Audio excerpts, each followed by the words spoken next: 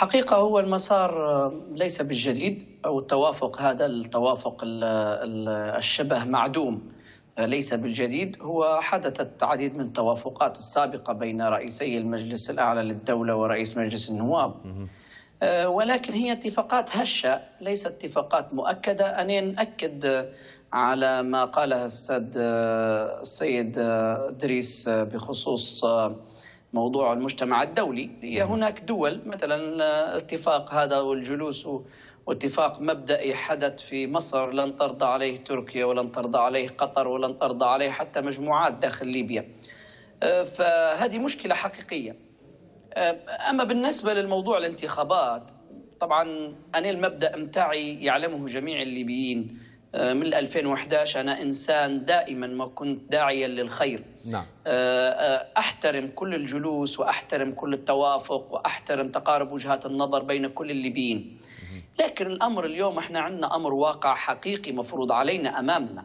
ما نقدروش نغطوه وما نقدروش يعني نخرج ونقول والله إن الوضع وردي وإن الأمور القاعدة الدستورية قريبة الإنجاز وان لا هو حقيقة أن هناك تباعد كبير. يعني أستاذ إدريس عضو مجلس نواب وأكد لك قال لك راهو الموضوع ما هوش خلاف بين عقيله صالح وخالد المشري وليس في إيديهم هم الزوز.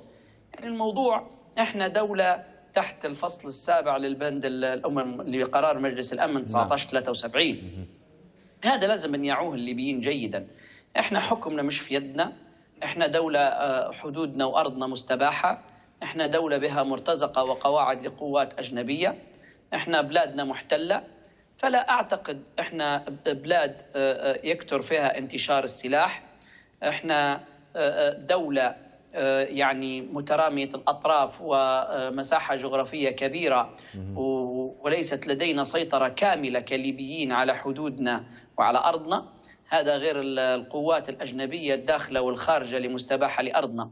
فأعتقد كل اللي موجود الأمر الواقع الميليشيات الأجهزة الأمنية وتفردها بال يعني أعتقد فيه أجهزة أمنية تتبع لمجلس النواب ولمجلس الدولة أو للمجلس الرئاسي. أجهزة أمنية لا تأتمر بإمرة هذه المجالس اللي تتبع لها. يعني أنت أنت تتكلم على قوات تملك السلاح على أفراد على عصابات على لصوص الاعتمادات يملكون السلاح ويحركون ميليشياتهم. أعتقد في الظروف اللي فيها البلاد الآن الانتخابات ليست ليست بالأمر يعني السهل الإنجاز.